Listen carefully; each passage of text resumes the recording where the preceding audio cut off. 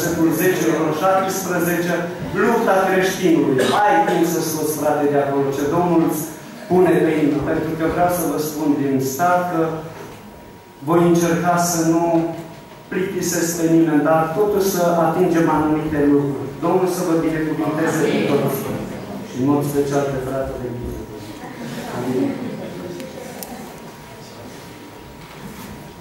Bineînțeles că acum cu toții știm că dușmanul nostru de temut, cel mai mare dușman de temut al nostru, este diavolul și armata lui. Și Pavel știe lucrul acesta, că el este puternic, dar ne încurajează prin cuvântul Scripturii să fim tari. Haideți să ne aducem aminte de cuvintele Domnului Iisus Hristos din Marcul 14 cu 38, unde Domnul Iisus Hristos îndeamnă pe ucenicii săi spunându-le, vegheați și rugați-vă, de ce? Ca să nu cădeți în ispită. Duhul este plin de râvnă, dar trupul este neputincios. Așa este trupul acesta. Este neputincios. De aceea noi în fiecare zi avem nevoie ca să petrecem timp înaintea Domnului și să-i cerem putere pentru a birui în viața noastră de zi cu zi. Slăvit să fie numele Domnului. Noi biruim numai prin puterea lui Hristos, slăvit să fie numele Domnului. Versetul 12 spune așa, că și noi nu avem de luptat împotriva cărnii și sângelui, ci împotriva căpetenilor, împotriva domnilor, împotriva stăpânitorilor întunericului acestui viac, împotriva duhurilor răutății care sunt în locurile cerești. Imatur este creștinul care nu înțelege aceste cuvinte. Mulți sunt care citesc aceste cuvinte și totuși ei nu înțeleg că nu au de luptat împotriva cărnii și a sângelui și să mai găsesc printre ei unii care au de luptat împotriva fraților și a surorilor. Domnul să aibă milă și să ne dea înțelepciune să înțelegem că lupta noastră este cu totul alta. Noi avem de luptat împotriva lui Satan și demonilor, împotriva lumii spirituale care este în locurile cerești. Și în momentul când am încheiat legământ cu Domnul prin botezul în apă, nu am făcut altceva decât să declarăm război întregului iad. Dacă ați uitat, vreau să vă aduc aminte de cuvântul care Apostolul Pavel îl spune în cartea 1 Corinteni, că noi suntem mădulare în trupul lui Hristos și în parte mădulare unii altora. Așa că nu cred că trebuie să fie dezbinare în trupul lui Hristos, ci în trupul lui Hristos trebuie să domnească pacea și o bună armonie și o bună înțelegere. Domnul să ne binecuvinteze la lucrul acesta. Noi creștinii avem nevoie să înțelegem că nu ne luptăm împotriva cărnii și sângelui, ci împotriva Duhului care lucrează în bine ascultării. Efeseni, capitolul 2, cu versetul 2, în care creați odinoară după mersul lumii acestea, după Domnul puterii văzduhului, a Duhului care lucrează acum în cine? În bine ascultării. Frați și surori, întocmai cum Duhul lui Dumnezeu lucrează în credincioși pentru a-i sfinți, la fel, Duhul neascultării, Satan și demonii să-i lucrează în viețile celor necredincioși.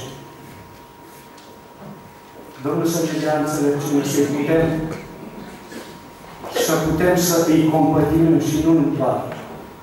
Ori de câte ori ni se dă posibilitatea sau Domnul ne deschide ușă de cuvânt, Domnul să ne dea înțelepciune să știm cum să-i abordăm și să le vorbim de Hristos. Pentru că Hristos nu dorește moartea păcătosului, ci viața. Lăudați să fie numele Domnului. Aceasta este greșeala, de fapt, pe care a făcut-o Petru în grădina Ghețisman când a încercat să-l bine pe satana cu ce? Cu sabia, trăind urechea uh, robului marului preot. Dar Domnul Iisus ce a făcut? A luat acea ureche și a pus-o la, la loc. Este ultima minune pe care Domnul Iisus Hristos a făcut-o. De asemenea, și Moise nu a înțeles el mare de luptat împotriva oamenilor. Atunci când dintr-o palmă au omorât pe acel egiptean. Noi trebuie să înțelegem că avem de luptat împotriva vrăjmașului și împotriva duhurilor răutății și Domnul să ne facă să înțelegem lucrul acesta. Însă singura cale de a lupta cu dușmanii spirituali este de a folosi arme spirituale. Și care sunt aceste arme? Este Cuvântul lui Dumnezeu și rugăciunea. Dumnezeu să ne binecuvinteze, să înțelegem lucrul acesta. Ne aducem aminte că Iisus l-a biruit pe Satan prin Cuvântul lui Dumnezeu, da? În Matei 4, capitolul, versetul 8 și 11, când diavolul i-a cerut Domnul Iisus Hristos să îi se închine Lui, Domnul Iisus Hristos ce a spus? De asemenea este scris, Domnul Dumnezeului tău să-i te închini și doar Lui să-i slujești. Credinciosul trebuie să se înteletnicească, să se silească, să se ocupe cu aceste două lucruri. Cuvântul lui Dumnezeu pentru a se echipa și rugăciunea. Măriți să fie numele Domnului. Haideți să trecem la versetul 13. De aceea, spune Apostolul Pavel, luați toată armura lui Dumnezeu ca să vă puteți potrivi în ziua cea rea și să rămâneți în picioare după ce veți fi biruit totul. Slăvit să fie numele Domnului. Este foarte important ca cel credincios să nu-i dea nici un prilej diavolului. Așa spune cuvântul Domnului în Efeseni, capitolul 4, cu versetul 27. Să nu-i dăm niciun prilej diavolului. Dacă am stat să ne analizăm în după masa aceasta, oare de câte ori, prin nevederea noastră, prin vorbirea noastră, prin comportamentul nostru, nu neapărat față de lumea aceasta, ci față de frații și surorile noastre. Oare nu am dat niciodată prilej vrăjmașului? Spune cuvântul Domnului că noi nu suntem în necunoștință de planul vrăjmașului și de lucrările lui. De aceea, Domnul să ne dea putere ca să vedem în vorbirea noastră, în comportament, în trăire și să nu dăm niciun prilej vrăjmașului. Domnul să ne binecuvinteze la lucrul acesta. Adică da, a nu da prilej diavolului înseamnă a nu lăsa vreo arie neprotejată astfel satana să obțină un capăt de por. Armura pe care o descrie Pavel este pentru protecție. Sabia cuvântului Dumnezeu este pentru atac. Slăvit să fie numele Domnului. Fiecare parte din armura spirituală ne spune ce trebuie să aibă credincioșii pentru a fi protejați împotriva lui Satan. În versetul 14, stați gata, dar având în mijlocul încins cu ce? Cu adevărul. Domnul să ne ajute pe fiecare lucru acesta. Pentru că Satan este un mincinos, însă creștinul care cunoaște adevărul nu va fi înșelat. Domnul Iisus Hristos în rugăciunea sa către Dumnezeu pentru ucenici în Evanghelia de Ioan, capitolul 17, cu versetul 17. Aceasta era dorința Domnului Iisus Hristos pentru ucenici să în rugăciunea Lui către Dumnezeu. Și spunea El, sfințește-i prin adevărul Tău. Cuvântul Tău este adevărul. Măriți să fie numele Domnului. Iar în versetul 19 spunea Domnul Iisus și eu însumi mă sfințesc pentru ei, ca ei să fie sfinți prin ce? Prin adevăr. Dacă contribuie ceva la procesul de sfințire, în procesul de sfințire al credinciosului în viața de zi cu zi, sunt două lucruri, frații, frați și surori. Și aceste două lucruri sunt Duhul Sfânt și rugăciunea, de fapt trei, și Cuvântul lui Dumnezeu. Duhul Sfânt. Spune Cuvântul lui Dumnezeu, zic, dar urmați, cârmuiți de Duhul și nu împliniți faptele firii pământești, care nu înseamnă această sfințire, au umblat pe o zi de Duhul lui Dumnezeu. Zic, dar umblați cârmuiți de Duhul și nu împliniți faptele firii pământești. Și mai, desparte, mai departe spune că firea pământească poftește împotriva Duhului și Duhul împotriva firii pământești, sunt împotrivne celălalt altora, așa că nu puteți face tot, tot ce voiți. Suntem conștienți noi că nu putem face tot ce voim. Da, pentru că Cuvântul lui Dumnezeu ne spune. Învățăm de la Domnul nostru Isus Hristos că El, măcar că era Fiul de Dumnezeu, nu a luat-o ca un lucru de apucat să fie de împotrivă cu Dumnezeu. Și dacă citim în Evanghelie, în cele patru Evanghelii, vedem că Domnul Iisus Hristos, ca Fiul de Dumnezeu, a avut locurile Lui de rugăciune și un timp special pentru rugăciune. El se retrăgea și stătea, petrecea timp în comuniune cu Tatăl, în comuniune prin rugăciune. Să învățăm de la El că noi trebuie să petrecem timp în rugăciune înaintea lui Dumnezeu. Pentru că așa cum hrănim acest trup cu hrană, pentru că este de trebuință că dacă nu îl hrănim, putem muri, da? Tot la fel și sufletul tânjește să se hrănească cu rugăciune și cu Cuvântul lui Dumnezeu. Iar cel de-al treilea lucru care participă la procesul de sfințire a credinciosului este Cuvântul lui Dumnezeu.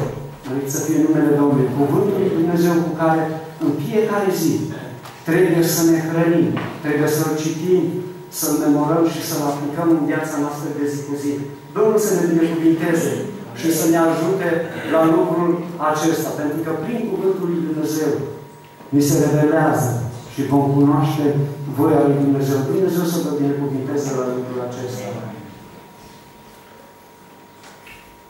Haideți să trecem la versetul 14, partea a doua. Îmbrăcați-vă cu platoșa neprihănirii, să să fie numele Domnului. Aceasta înseamnă o umblare zilnică, statornică a credinciosului. Haideți să deschidem la Cartea Iov, capitolul 1, cu versetul 1 și versetul 8 și să învățăm de la fratele nostru Iov. Era pe vremea lui, mă scuzați, deschis la Estera, Era în țara Uț un om care se numea Iov și omul acesta era fără prihană și curat la suflet. El se temea de Dumnezeu și se abătea de la rău. Versetul 8. Domnul a zis satana, ai văzut pe robul meu, eu? Nu este nimeni ca el pe pământ. El este un om fără, fără prihană și curat la suflet, care se teme de Dumnezeu și se abate de la rău. Și cu toate acestea, diavolul, în obrăznicia lui, în versetul 10, capitolul 1 din nou, vine și îl condamnă pe Iov. Nu l-ai ocrotit pe el casa lui și tot ce este al lui? Ai binecuvântat cu mâinilor lui și turmul lui acoperă țara. Satana acuză pe Iov că slujește pe Dumnezeu pentru foloasele pe care le primește. Oare așa era? Nu pentru că Dumnezeu permite vrăjmașului să se atingă El. Și eu, în cazul lui, în suferința lui, dovedește statornicie în Dumnezeu și credincioșie de necredită în Dumnezeu. Chiar când vrăjmașul a venit prin soția lui, pentru că, de fapt, acestea erau cuvintele diavolului pe care le spusese lui Dumnezeu că dă voie să, să mă ating de el și sunt încredințat că te va blestema în față. Apoi diavolul vine și îi insuflă aceste cuvinte nevestei lui Iov, care îi spune, știți ce îi spune? Vlească pe Dumnezeu și mori. Îmi place de omul lui Dumnezeu că rămâne vertical, chiar în suferința lui și dă dovadă de o doză mare de înțelepciune. Știți ce îi spune eu? Vorbești ca o femeie nebună, nu ca o nebună. Oare noi, în această situație, cum am spus nevestei noastre? Vorbești ca o nebună sau ești eu? Domnul să ne binecuvinteze și să ne ajute pe fiecare să trăim în neprihănire. De ce? Pentru că Satan este acuzatorul. Lucrul acesta ni-l arată Apocalipsa 12 cu 10. Dacă poți te rog, Apocalipsa 12 cu 10.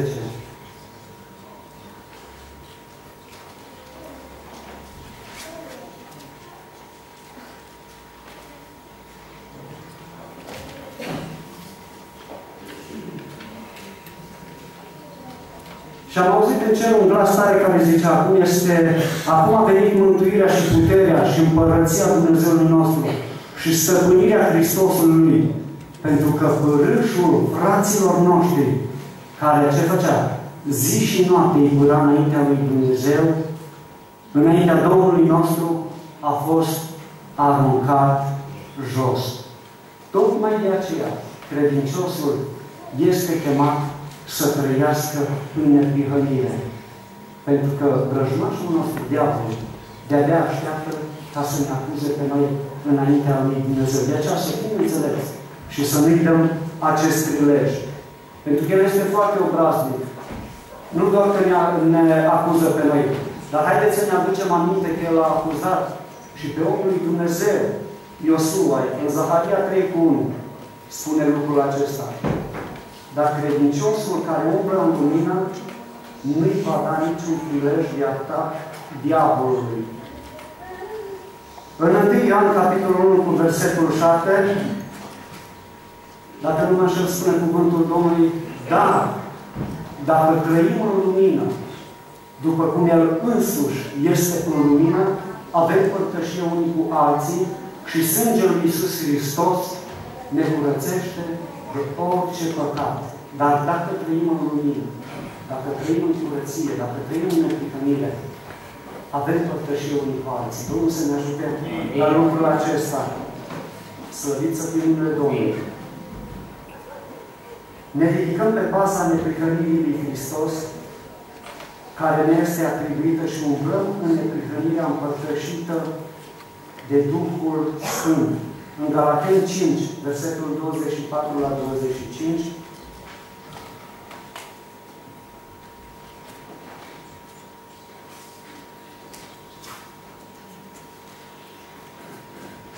Cei ce sunt ai lui Hristos Iisus și au răstignit firea pământească împreună cu poftele și patimile ei. Dacă trăim prin Duhul, să și umblăm prin Duhul. Și leg acest verset de ceea ce spuneam adineauri. Zic, da, umblați călăuziți de Duhul și nu împliniți poftele firii pământești. Domnul să ne binecuvinteze și să ne ajute pe fiecare la lucrul acesta. Apoi haideți să ne ocupăm un pic și de această pace despre care ne vorbește Apostolul Pavel în versetul 15. Avem, având picioarele încălțate cu râvna Evangheliei Părcii. Desigur, cu toții știm că satana, diavolul, este un dezbinator și mincinos. Însă când credinciosul umblă pe calea părcii, calea Evangheliei, atunci satana nu poate ajunge la el.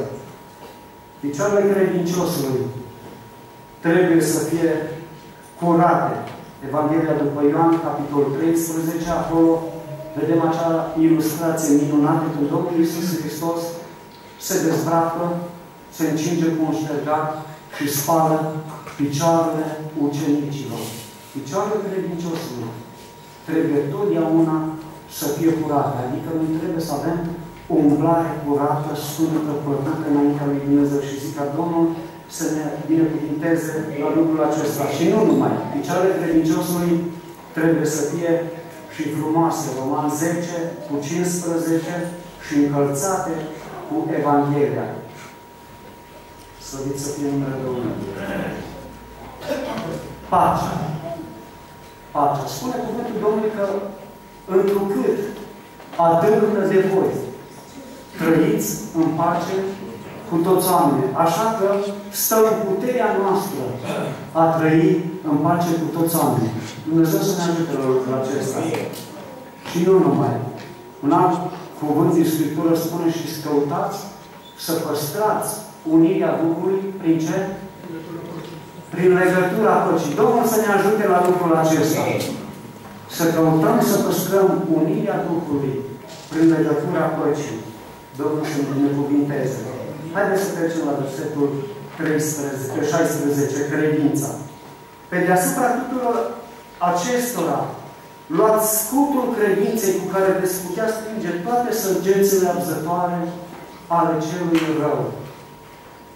Domnul să ne binecuvinteze pe fiecare seară aceasta cu, cu o credință mare, cu acest scut al credinței, cu care vom putea stinge toate săgețile arzătoare ale celui rău. Satan, desigur, este sursa necredinței și îndoierii. Ne aducem aminte de cuvântul Domnului din Geneza, capitolul 3, cu versetul 1. Cum a venit diavolul la, la prima pereche de an, în special la femeie? Oare a zis Dumnezeu cu adevărat? Este întrebarea perfectă a lui. Oare a zis Dumnezeu cu adevărat? Știți episodul acesta din Scriptură. Dați-mi voi să vă spun că credința este cea care învinge orice dușman. În 1 Ioan capitolul 5 cu 4, cuvântul Domnului spune Cine este născut din Dumnezeu, ce face? Biruie lumea. Și ceea ce câștigă biruință asupra lumii este credința noastră. Un om fără de credință este un om fără de perspectivă. Un om fără de credință este un om fără de viziune. Și ceea ce câștigă biruința asupra lumii este credința noastră. Domnul să ne umple inimile în seara aceasta de credință. În Evrei, capitolul 11, cu versetul 1, acolo întâlnim definiția credinței. Și credința este o încredere neclintită în lucrurile nădăjduite, o puternică încredințare despre lucrurile care nu se văd. Mărit să fie numele Domnului. Deși noi cu acești ochi fizici de carne nu vedem acele lucruri, noi prin credință suntem de plin convinși și încredințați că El există. Apoi în evrei, capitolul 11 cu versetul 6. De ce este nevoie de credință? Pentru că fără de credință, spune cuvântul Dumnezeu, fără de credință, este cu neputință să fim plăcuți lui Dumnezeu. Că cine se apropie de El, trebuie să creadă că El este și că răsplătește pe cei ce îl caută.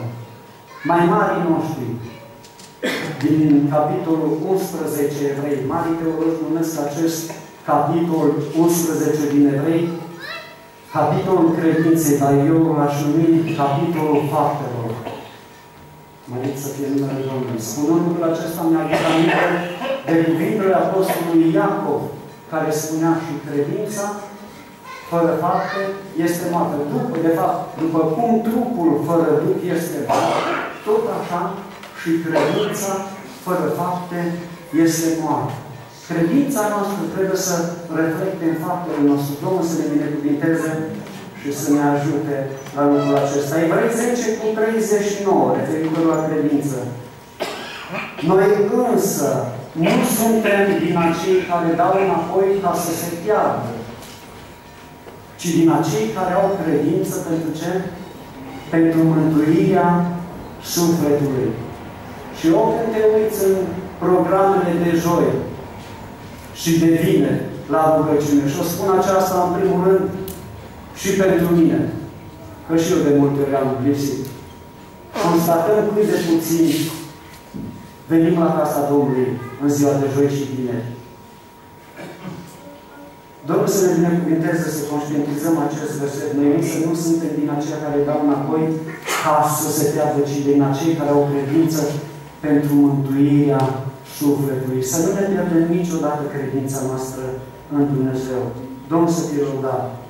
Haideți să trecem la versetul 17, unde este vorba despre mântuire. Luați și poitul mântuirii și sadea Duhului, care este cuvântul lui Dumnezeu. Slăvit să fie numele Domnului. Desigur, probabil, versetul acesta 17 se referă la mântuirea adusă de Hristos la revenirea sa. Sunteți de acord cu mine, da? Scrie lucrul acesta în 1 Tesalonicen, capitolul 5, cu versetul 8. Însă credinciosul, a cărui minte este concentrat asupra venirii iminente a lui Hristos, nu va credea în cursele satanei. Vorbeam de această nădejde. Nădejdea binecuvântată trebuie să fie ca un coi care protejează mintea. De ce? Pentru că satanei i-ar plăcea ca noi să cădem, ca noi să credem că Isus Hristos nu se mai întoarce, ori că El nu va mai veni astăzi. Dacă citim în Matei 24, cu versetul 45 la 51, acolo putem să vedem ce îi se întâmplă persoanei care își dă jos coiful mântuirii. Ai putea pune Matei 24, versetul 45 la 51.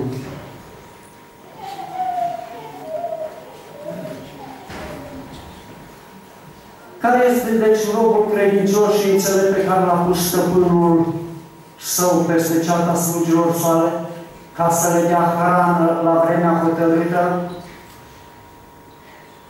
Ferice de robul acela care stăpânul său la venirea lui îl va găsi făcând așa. Adevărat vă spun că îl va pune peste toate averile sale. Dar dacă este un rob rău, dacă zice în inima lui, și aici apare desnădejdea în inima acestui rob, da?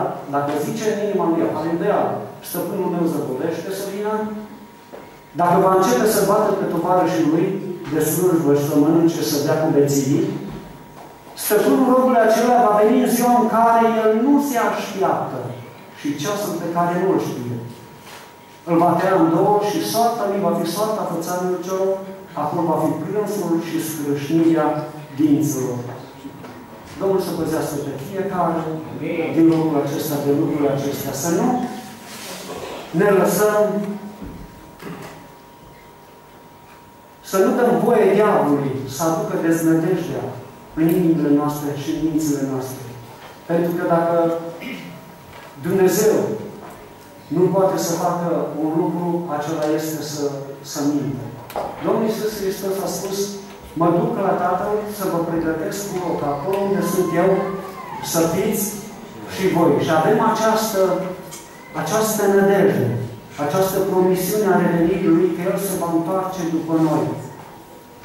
Slăvit să fie numele Domnului. Deci să avem această nădejde și să credem că El se va întoarce cu siguranță după noi. Mărit să fie numele Domnului.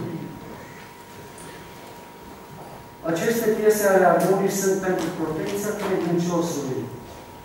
Duhul și rugăciunea sunt armele de atacare a încăriturilor diavolului și înfrângerea lui. Creștinul trebuie să lupte cu dușmanii spirituali folosind arme spirituale. În 2 Corinteni, capitolul 10 cu 4, citim. Căci armele cu care ne luptăm noi nu sunt supuse firii pământești, ci sunt puternice, întărite de Dumnezeu ca să surpe întăriturile. Și spune mai departe, noi răsturnăm izvodirile minții și orice înălțime care se ridică împotriva cunoștinței lui Dumnezeu, adică filozofiile lumii acestea, și orice gând care se ridică împotriva, orice cunoștință care se ridică împotriva lui Dumnezeu, și orice gând îl facem rog ascultării de Hristos. Deci armele acestea cu care noi suntem echipați nu sunt de natură pământească, materială, ci suntem, ci sunt arme de natură divină. Deci armele cu care ne luptăm noi nu sunt supuse firii de pământești, adică nu sunt, sunt, nu sunt sub autoritatea firii pământești și sunt puternice ca să surpe întreriturile Domnului să ne dea putere să realizăm lucrul acesta în viețile noastre. Și Cuvântul lui Dumnezeu este singura sabie de care avem nevoie. Evrei 4 cu 12. Cuvântul lui Dumnezeu este viu și lucrător, mai tăietor decât orice sabie cu două tăiușuri, pătrunde până acolo că desparte sufletul și Duhul, încheietura și mărtua judecă gândurile și simțirile inimii. Domnul să ne binecuvinteze și să ne dea putere și să ne facă să mânuim cu desfălucie acest cuvânt al lui Dumnezeu. Amin. Creștinii trebuie, pe măsură ce înțeleg Cuvântul lui Dumnezeu, creștinii Biblie, pe măsură ce înțelege Cuvântul lui Dumnezeu, îl memorează și îl împlinesc. În Iosua, capitolul 1, cu versetul 8, acolo găsim o încurajare a lui Iosua și spunea cuvântul Domnului, cartea aceasta a legii, să nu se depărteze de gura ta. Cuget asupra ei zi și noapte căutând să faci tot ce este scris în ea. Mărit să fie numele Domnului. Domnul să ne ajute pe fiecare la lucrul acesta și în fiecare zi să ne adăpăm din acest izvor, Cuvântul lui Dumnezeu și să ne echipăm cu El pentru ca să putem trăi o viață de diviniță. Amin. Îndărată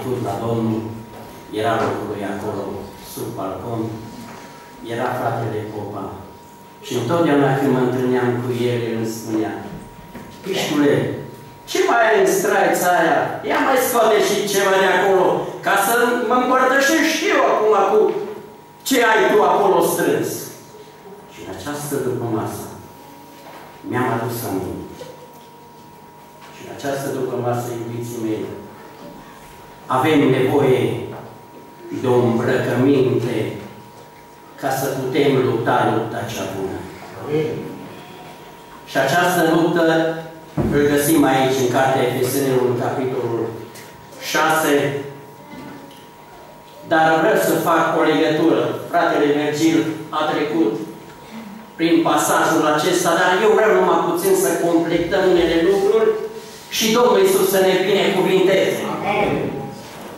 Vreau să mergem puțin gândul meu în această seară. Era alt, alt text și cred că era și mai de folos. Slăvit să fie numele Domnului. Dacă Domnul a rânduit ca de aici, Domnul să-și proslăvească numele. Amin. Merge puțin în Vechiul Testament și acolo găsim un împărat care să lupta și avea lupte multe. Deodată apare între filisteni un om mare cu numele de Goliat. Și nu avea nimeni curajul să se lupte cu Goliat. Dar se găsește un copil, un băiat tânăr, care încerca și voia să meargă să, să lupte el împotriva lui Goliat. Este dus înaintea împăratului și împăratul, cu greutate, cu multe încercări, zice, dar nu poți să te duci tu să lupți în halul acesta, în felul acesta, trebuie să te îmbraci cu ce? Cu armătură. Iubiții mei, în luptă trebuie să te îmbraci cu armătură. Și acest copil este îmbrăcat cu armătura împăratului. Dar foarte interesant, căci toată armătura care i-a dat împăratul nu se potrivea. Era prea mare. Și aici ne oprim puțin și vrem să învățăm ceva în această după masă. De multe ori și în zilele noastre, oamenii încearcă să îmbrace cu oameni, pe oameni cu armătură. Știți ce vreau să vă spun? Dar de multe ori această armătură nu se potrivește. Și vom vedea pe parcurs că dacă nu se potrivește această armătură, întotdeauna dă în faliment.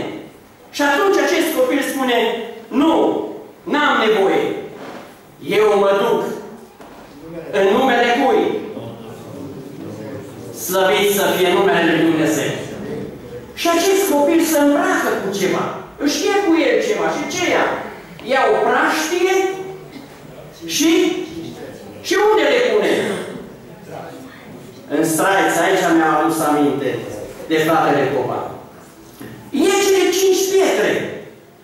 Și cu o praștie și cu cele cinci pietre se duce la luptă. Și începe lupta, dar foarte interesant. Nu folosește toate cinci pietre, și folosește o singură piatră. Cu o singură piatră, David iasă biruitor. Știți pentru ce? Că s-a dus în numele Lui Dumnezeu. Slăvit să fie numele Domnului. Și atunci, credinciosul, cu ce trebuie să se îmbrace? Și în această după masă, în textul acesta, dragii mei, găsim cele cinci pietre a lui David, cu care oricare credincios trebuie să fie îmbrăcat. Slăvit să fie numele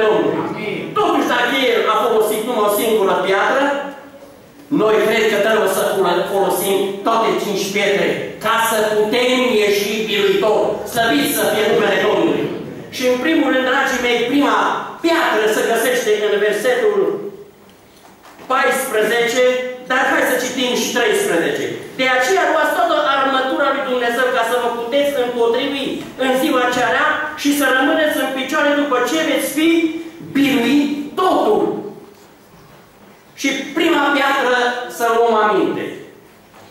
Stați gata, dar având credinciosul, credinciosule, eu și tu, de fiecare, de fiecare dată noi trebuie să fim gata pentru ce?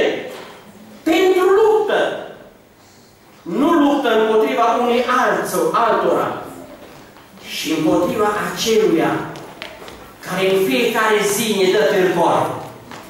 Acela cu care avem de luptat. Nu știu cât de mare este Goliat în inima ta, în familia ta, în viața ta, dar avem de dus o luptă și trebuie să ne luptăm împotriva lui Goliat. Și aceasta este puterea celui rău. Și spune cuvântul Domnului, stați gata, dar având mijlocul încins. Cu ce? Prima piatră, piatră. Cu adevărul și îmbrăcați cu platoșa neprihănirii. Iată, găsim cele două pietre aici. Adevăr. Azi dimineață s-a vorbit despre adevăr aici, în biserică. Ce este adevărul? Adevărul, Aleluia, este Hristos. Mărit să fie numele Domnului. Adică, creștinule, trebuie să te îmbraci în Hristos. Tot ce v-ați botezat, v-ați îmbrăcat în Hristos. Și în voi trebuie să trăiască adevărul. Căci adevărul vă face slobos, cum spune Apostolul Pavel. Și Domnul să ne ajute ca această piatră a lui Golia să rămână aici în straiți, aici în inimile noastre. Slăvit să fie numele Domnului. Adevărul. Dar mai presus de toate, să luăm și pe al doilea. Este neprihănirea. Neprihănire, va să zică o viață sfântă, o viață curată. Așa îi place Domnului. Dacă vrei să te lupți și să ai biruință în luptă în fiecare zi, neprihănirea trebuie să te însoțească. Va să zică să trăim o viață sfântă și curată. Slăvit să fie numele Domnului.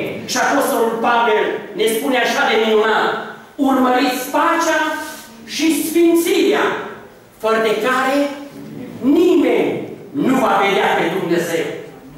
Nimeni nu va vedea pe Dumnezeu. Sfințirea. Și aici parcă cuvântul Domnului ne dă ceva în inimile noastre. Și cine dă? O promisiune. Urmăriți pacea și sfințirea. Și dacă trăiești o viață sfântă, ai o promisiune din partea lui Dumnezeu. Ce promisiune o să ai? Că vei vedea fața Lui. Slăvit să fie numele Domnului. Cine vor vedea fața Domnului? Acei ce trăiesc în sfințire. Acei ce au o inimă curată.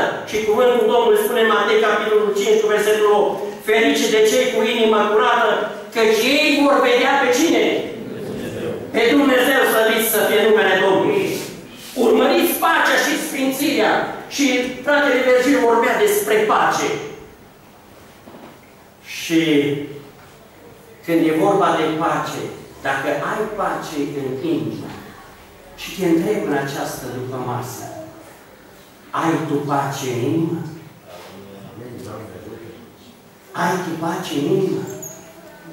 Ai această pace care dorește Dumnezeu ca să ai în inima ta? Doamne, lasă pacea Ta în inimile noastre. Lasă pacea Ta să troneze în inimile noastre. Vreau să vă spun, acolo unde este pace, este prezent Dumnezeu. Este prezent Duhul lui Dumnezeu. Unde este pace, este dragoste, este iubire. Este părtășie frățească.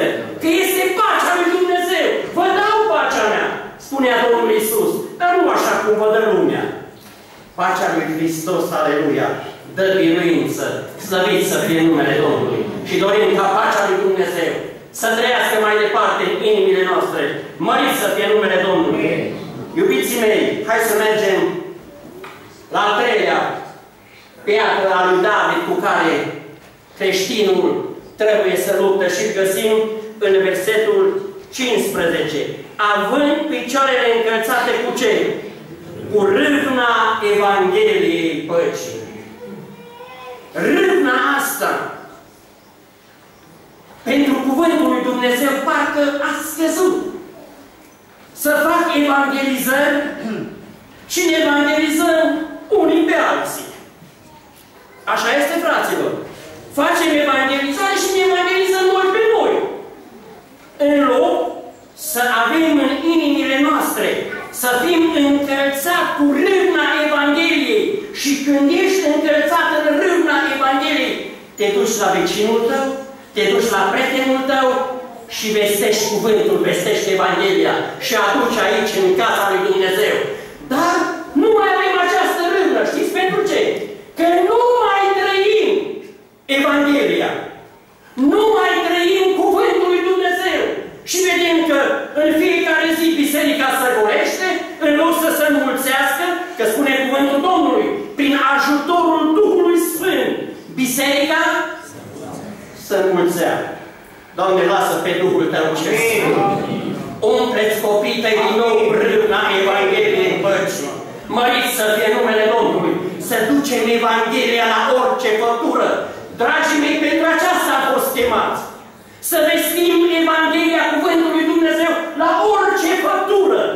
Căci va veni timpul când vor sta înaintea Domnului și te va întreba și mă va întreba unde se este rodul? Unde se este snopul? Păi, Doamne, vezi că n-am știut. Fiecare din noi trebuie să ne prezentăm înaintea Domnului cu snopul care am strâns cât am trăit aici în viața aceasta. Și te întreb și mă întreb în această zi, în această după masă, câte snopi ai strâns într-o viață, într-o, în ani de pocăință? Cât ai strâns? Ai snop sau n-ai? Dacă mă întreb, în ultime vreme, dacă am fost plecat, dar și acolo slăvit să fie numele Domnului. Că Domnul a rânduit să strângi snop și Iacov. Dar nu este meritul meu, este Harul lui Dumnezeu. Căci cuvântul lui Dumnezeu trebuie vestit peste tot. Mărit să fie numele Domnului. Ce ai strâns? Unde ți snopii? Că trebuie să te prezinți înaintea Domnului. Și dacă n-ai snop, te va întreba Domnul, dar ce ai lucrat? Păi, Doamne, vezi că mi-a fost rușine, Doamne, vezi că parcă n-am avut curajul acela, că parcă am pierdut pe drum. Ce greu cuvânt va spune Domnul despre tine sau despre mine. Plecați de la mine, că nu vă cunosc. Iubiții mei, este vremea să strângem rod, să strângem snop. Și dacă strângem snop, biserica să înmulțește. Dacă nu vestim Evanghelia lui Hristos, ce face? Pentru ce am venit în lumea aceasta? Să trăim bine, să ridicăm zidul, zidul să înălțăm, sau să strângem la averi. Toate vor rămâne aici. Creștinul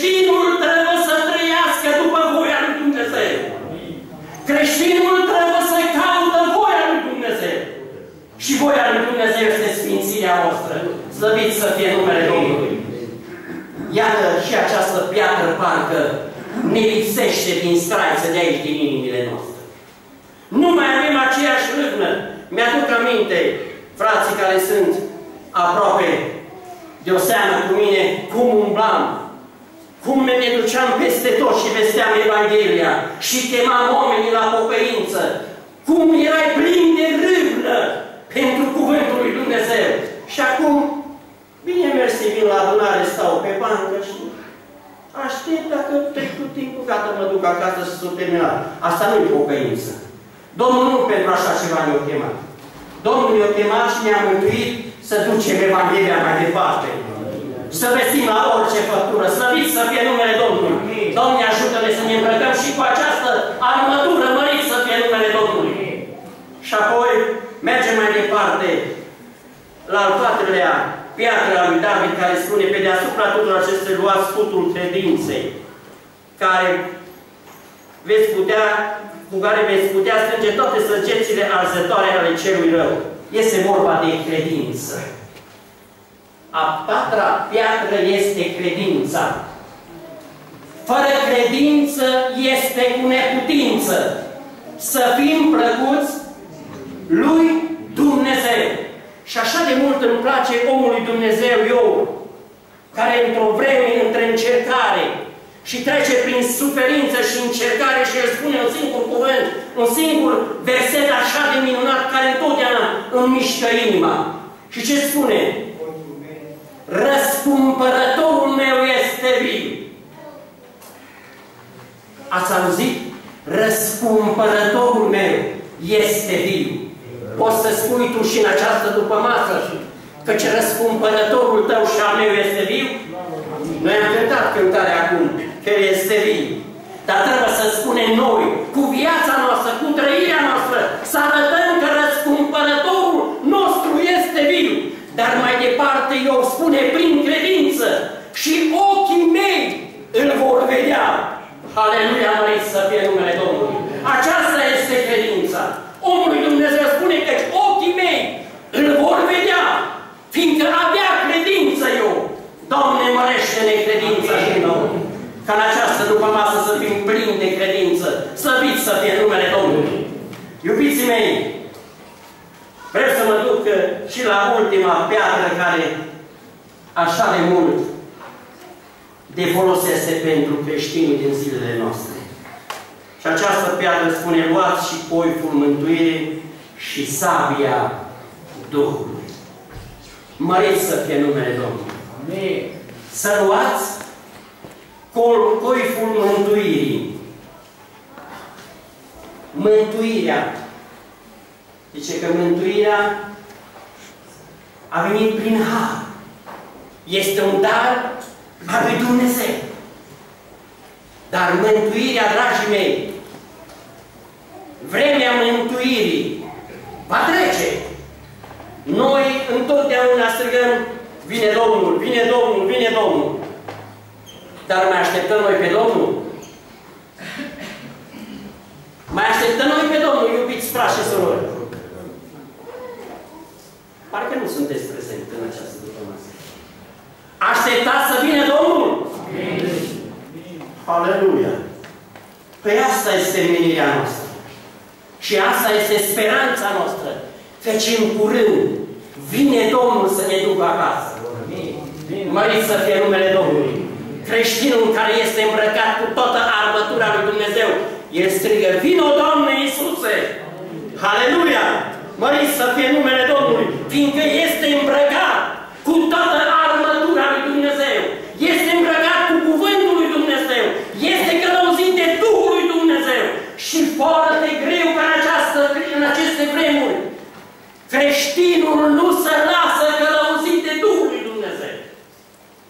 Nu ne lăsăm călăuziți de Duhul lui Dumnezeu. Facem școli, facem pregătiri foarte bune, dar nu ne lăsăm prelucrați de Duhul lui Dumnezeu. Dar când te lași călăuzit de Duhul lui Dumnezeu, El îți vorbește inimii tale.